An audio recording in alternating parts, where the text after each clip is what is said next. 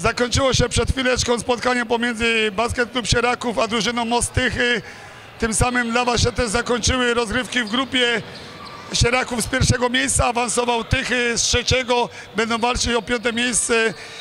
Panie Wojtku, Wojciech Majcherowicz, podsumowanie tego meczu i może tej, tej grupy, czy była ciężka, jak to wyglądało? Powiem tak, wbrew pozorom zagraliśmy chyba najlepszy mecz w tym turnieju i, i no wynik może tego nie odzwierciedla. No, na pewno trafiliśmy, wydaje mi się, że na, na jeden z dwóch najlepszych zespołów w tym turnieju.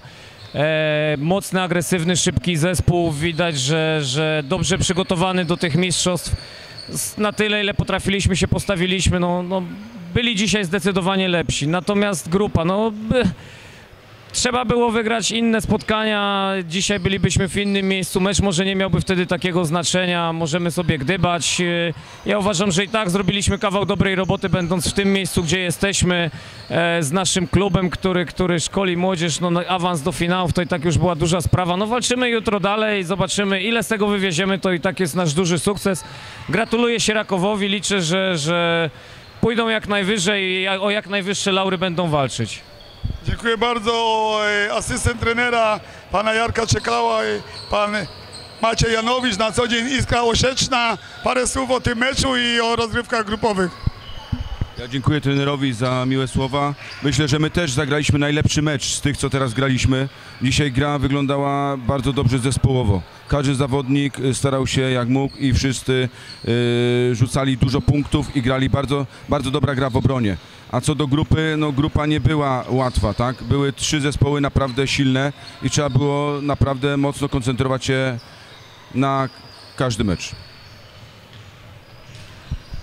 Zawodnik tych e, Karol Łebek, e, po statystykach ci mecz za bardzo nie wyszedł, ale walczyłeś jak mogłeś. Widziałem w końcówce e, faula tobie.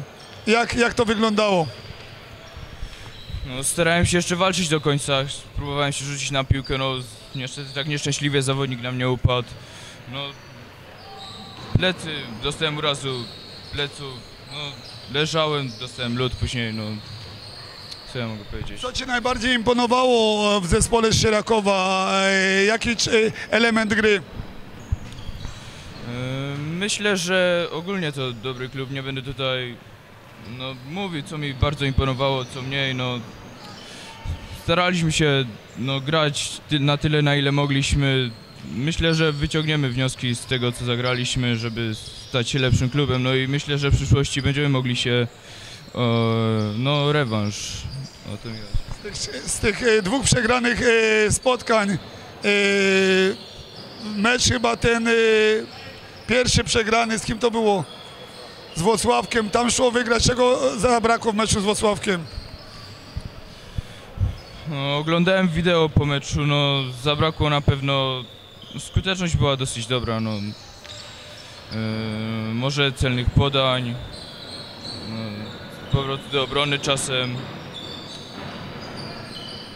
Głowa do góry, jutro dalej gracie o piąte miejsce. To jest bardzo dobre miejsce. Będziecie walczyć MVP tego meczu. Zawodnik z Sierakowa. Na co dzień e, grasz gdzie? Puchalski, tak? Z Biofarmu Basket jesteś wypożyczony. Rocznik 2004, tak?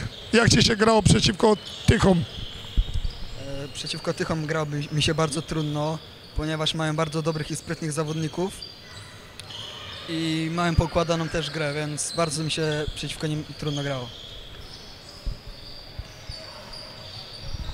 To chyba tyle, dziękuję za wywiad.